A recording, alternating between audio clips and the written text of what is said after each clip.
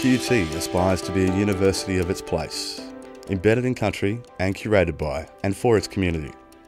To implement this vision, we've asked ourselves, what if we grounded people in country, shared the knowledge embedded in place, and supported Indigenous Australian culture? What if we created a responsive physical environment, expanded community integration, and shared campus engagement?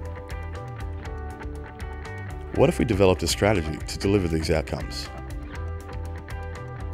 We could foster a deeper understanding of the meaning of country,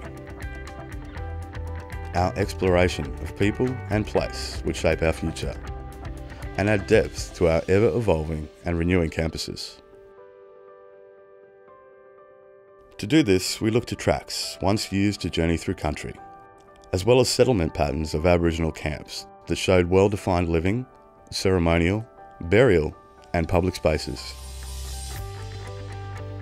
We recognise that our campuses are located on Turrbal and Yuggera country, a land rich with Aboriginal history and embedded culture, the cues for rethinking our physical environments.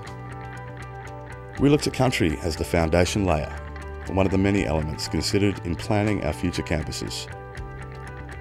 We develop frameworks focused on delivering future facilities and our campus public realm. These create a track through each campus and will change how we engage with country.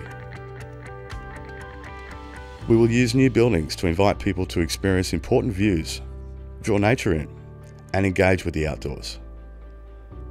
We will use public spaces to encourage activation respond to cultural needs, and support daily life.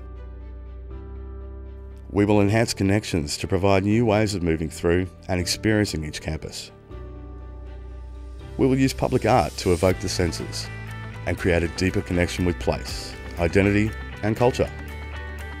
QUT has decided the time is now to embed place, genuine engagement, and shared design in the delivery of our campuses.